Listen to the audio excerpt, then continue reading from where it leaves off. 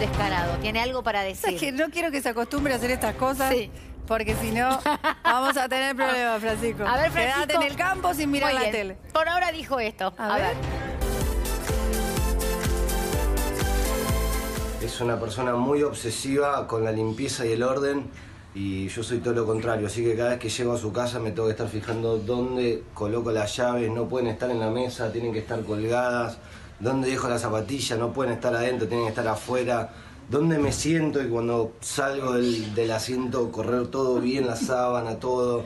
Bueno, eso, resuélvanlo, te mando un beso grande.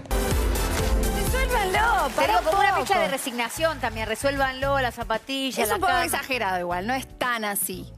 Pero un vos sos poco fiel. sí. Sí, lo que te conozco sos Sí. meticulosa, limpita, prolija, Sí, igual me, eh, además me mudé hace poco, entonces tengo la casa, viste, que quiero que esté todo como Es me como lo cuando soñé, arrancás me lo el cuaderno imaginé. cuando sos chiquita, que las Claro. primeras hojas decís, Claro, lindo, está, y quiero que tenga Sí. ricolor, entonces dejar las zapatillas fuera, y de que todo esté lindo. Y él te llega con olor a perro, olor a, a caballo. No, no, no, él, siempre llega con ricolor, todo bien, bien. pero es medio despelotado, ¿viste? Le encontrás Entonces un- llega y como no le importa mucho, te tira el bolso por ahí, vienen los perros y todo, Sí. todo lo que limpié, ordené, Claro, se, ya lo arruina.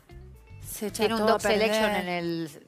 Una Trae comida con las para bolsitas perros. para perros, Claro, claro. tiene Eso Igual viste sí. que el, el- la cosa como hay como un poco de olor a veterinario tal vez. olor- sí, sí, el ¿Viste? olor a perro. Sí. ah, Viste, ando con el, el- un poquito una manta Sí. Y, y digamos, y cuando vas, eh, porque no conviven todavía, No. o sea que van a un territorio y al otro. Sí, bueno, él en- está mucho en casa cuando viene a Buenos Aires y si no yo voy Bien. para donde está él en el campo. O sea, él vive ahí donde... donde... él vive en, en Palermo y trabaja mucho en el campo con los perros. Perfecto. A mí me encanta ir ya te- también ya dejaste bombacha, cepillo de diente, todo. ¿Sabes que no? ¿No? El cepillo de dientes sí. Cepillo de dientes. Sí, pero no me quedo tantos días en el campo. Porque no hay nada, ¿viste? Claro. Como que no...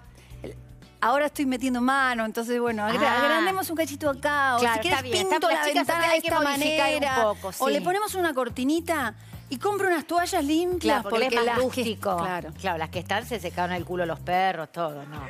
Y vive mucho hombre ahí, ¿viste? Claro, mucho, mucho tipo olor a todo el bola. tiempo y los perros duermen adentro, entonces en el invierno, entonces perro, pelos, olor. Claro, muy olor bien. Te veo muy relajada, te veo bien, bien, muy entregada a la terapia. Vamos a hacer algo muy bueno.